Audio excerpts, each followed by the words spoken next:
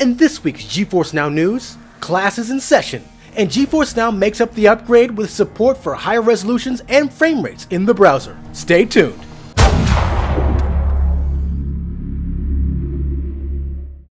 RTX 3080 members can now level up their browser gameplay at up to 1440p and 120 frames per second. No app install required.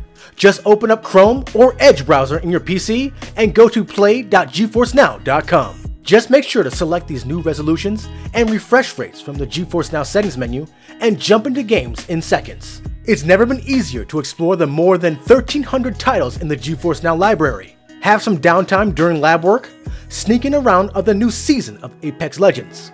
Or stay connected with friends for multiplayer, like in Path of Exile's latest expansion, Lake of Kalandra.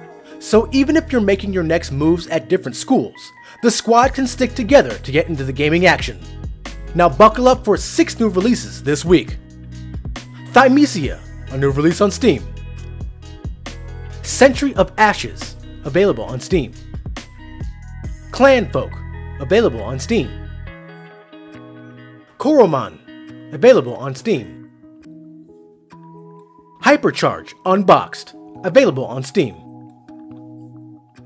Phoenix Point, available on the Epic Game Store.